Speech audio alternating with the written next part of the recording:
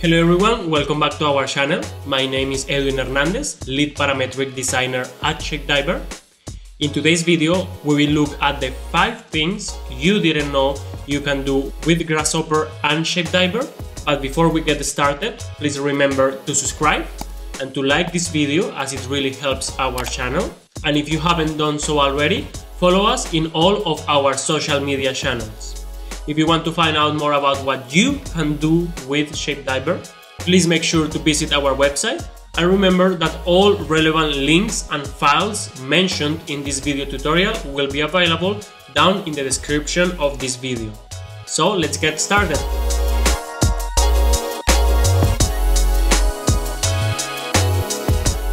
So the first thing is create parametric images and textures. For that we use the Squid plugin Shapediver Edition. And with this plugin you are able to create images from geometry that you create in Grasshopper, from other images, from text, etc etc. For that we just need this component, this component is the Squid component.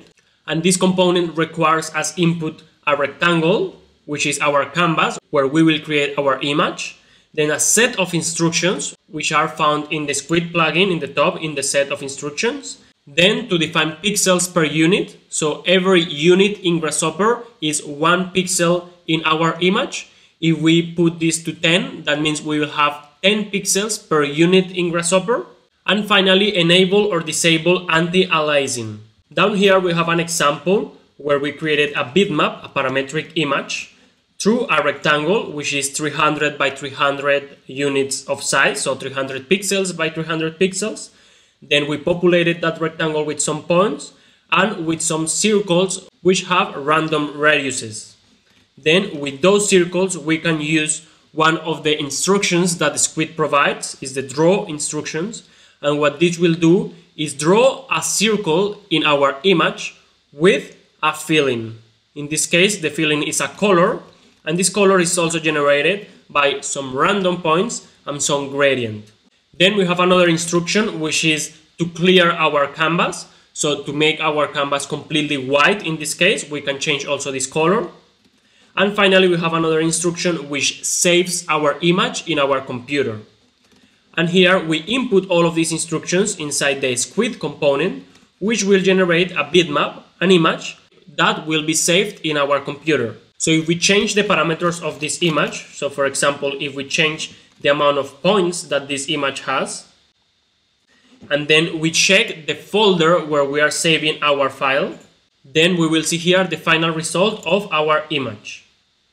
So every change that we do in Grasshopper will affect our bitmap in our saved image. Now, something that you may don't know is that these images can be also used as textures for your objects.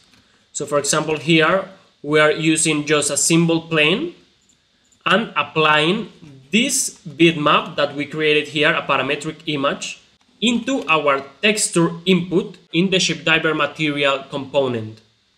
This then gets applied into our geometry via our Shapediver display geometry component. But what happens if instead of a simple plane, a simple mesh plane, we use a sphere, for example?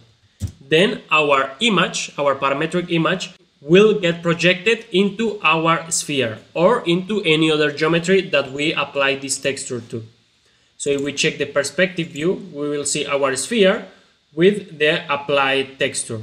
You can also download that image in the cloud via Shapediver by using our Shapediver export download component so that any user around the world can download also this image via the cloud application. Let's continue with the second thing you can do with Grasshopper and Shapediver, and this is create PDFs.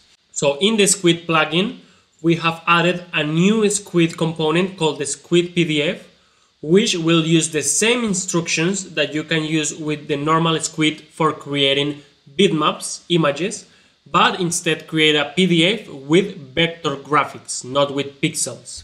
Additionally, there are other components in the Shapediver plugin in the PDF section which allow you to merge PDF pages if you want to have several pages in the same document. You can define a page size split PDFs as well, and of course save them here locally in your computer. So in this definition, we have created our page size, which is A4, and with this page size, we have positioned a rectangle, which will contain the logo of our PDF page. This logo can be applied in the PDF thanks to this component, which is the image component in the instructions in the Squid plugin. Then here we have several examples. So for example, the Shapediver logo, the Puma logo, and the Instagram logo. Then on the other side, we have a ring as a Brep. And this ring, we want to draw it as a 2D drawing in our PDF. To do that, we are using this component that comes in Grasshopper, which is called the Make 2D component, which will create the curves for our ring based on a camera position. So this camera position is based on our bounding box, the ring bounding box, but this bounding box is 45 degrees looking at our ring. In this way we can get our camera position, then we create the make 2D and we have our ring as curves, which then we can draw via the draw component of the Squid plugin. Then we merge all of these instructions and then we input them in the Squid PDF component. We also input them here in the normal Squid component just to be able to preview this PDF in our viewport, in our viewer. So as you can see, the same instructions can be used to create a bitmap, an image, and to create a PDF. Then, via the Shapediver export download component, you can make this PDF available when you upload this as a cloud application in Shapediver or you can also download directly here in the computer the file by using this component called the Write PDF, which is in the Shapediver plugin in the PDF section. Here you just have to give a file path, and if we check this folder, here you can see the result of our PDF. So of course, any change that is made in Grasshopper will get reflected in the resulting PDF. And here there is other examples where you can see how complex these PDFs can get. So for example, here we have some elevations and floor plans of a garden shed and a list of materials to build this garden shed. You could also create some manufacturing drawings, for example, where you can show how to cut, for example, this piece of glass. This is for a shower. Or you could even create a summary where you can show the users what is the summary of what they have selected. So for example, here we have a isometric view created with the make 2D component of Grasshopper and a floor plan of this shower, some description of what was selected for this product, and at the end, a final result of the cost of this shower, some disclaimers, and some information. All of this created automatically via Grasshopper. Let's go now to the third thing you can do with Grasshopper and Shapediver, and that is to convert images into curves. So the first method to do so is to first of all import the image as a bitmap type via our Shapediver image input component. Then with this bitmap, you can convert that bitmap into a mesh with the Shapediver image to mesh component. So here we have just the bitmap as an image, but then we convert that bitmap into a mesh. If we go Control M, we will be able to see all the quads in this mesh. So each pixel in the image is one of these quads in our mesh. And then with Weaverbird, we take just the naked boundary of this mesh. So all the outside of our mesh. The problem of this method is that as you can see, here the curve is not very smooth, is not very clean. And that's because of course the mesh is a set of pixels, so a set of quads. And that's why we get these very sharp edges in our curve. However, now in Shapediver we support this component called Rooster, which is way more efficient when converting bitmaps into curves. So instead of using here these two methods, we will just use Rooster plugin. So if we input this bitmap into the bitmap input, then that will give us a clean curve. So if we zoom in, we can see that it's a very clean curve. And for that, of course, we have some settings that we are not gonna go deep into right now. And as output, we have the boundary of our bitmap, of our image. You have, of course, the curves, but these curves are separated into branches because each of these branches represent a color in our colors list output so that you can filter the curves by color. Now you may ask what is the point of getting the curves of an image? And the answers are limitless because now that we have the curves of this image, now we can do operations in these image curves as we would do with any other geometry. So for example, here if we disconnect this, we will see that we have a pattern that is created with the traditional grasshopper component of Voronoi and then here we have some parameters like for example the number of points. So we can see how the pattern changes depending on that. But this is not very interesting. We don't have really a soul in this design. But our soul here is our bitmap our image as curves. If we connect this bitmap here in our rooster component then our pattern adapts to these image curves so now we have a pattern that is customized a pattern where you can put any image that you want and the pattern will adapt to this image.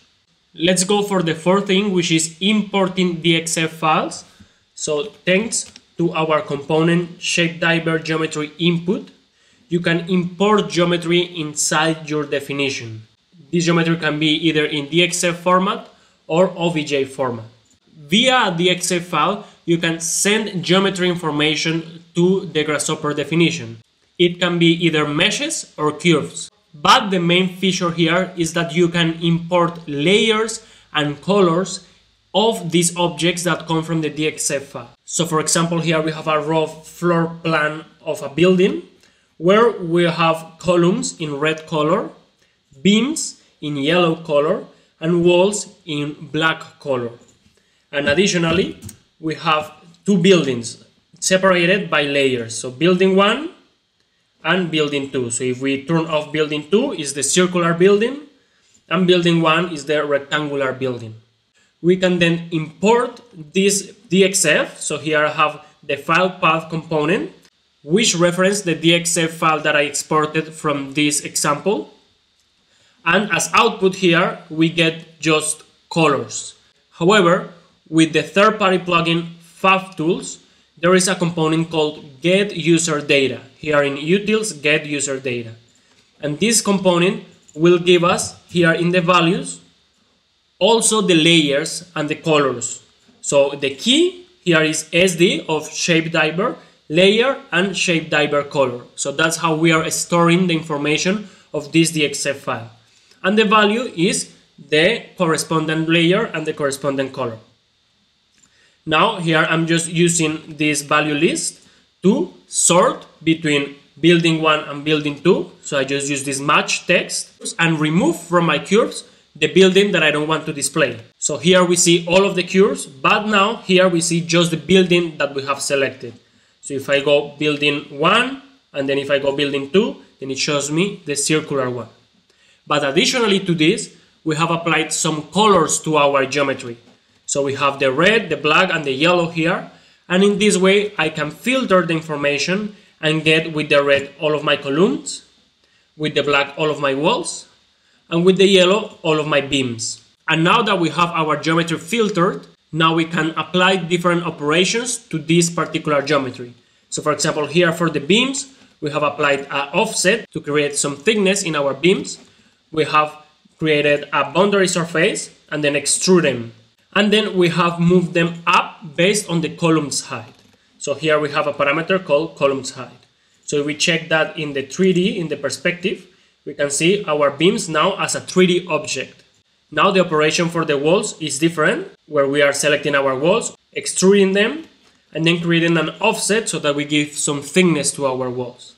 And finally, we have the columns, where we are also creating a boundary surface, and we are extruding them based on our column height. And with that, we get columns, walls, and beams as a 3D object.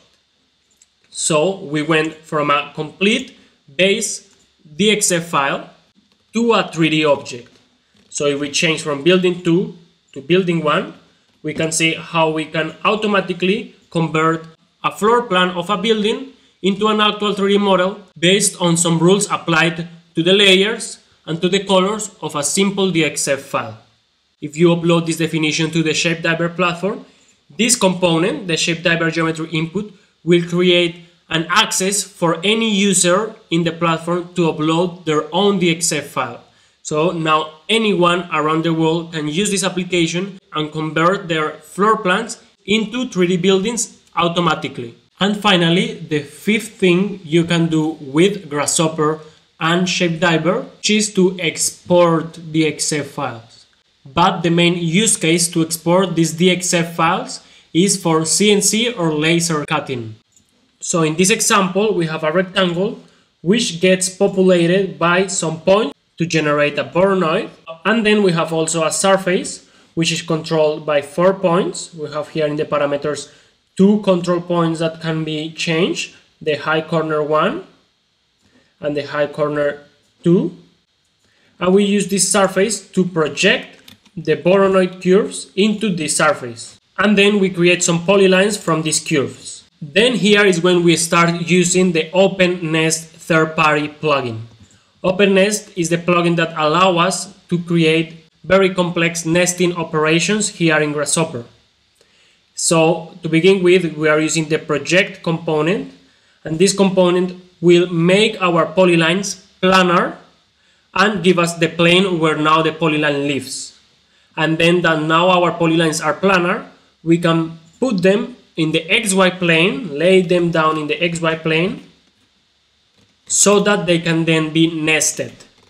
Then here we have the OpenNest component, which has as input the geometry and the sheet of material where our geometry should be positioned. So this is the material size that we have for our CNC or laser machine.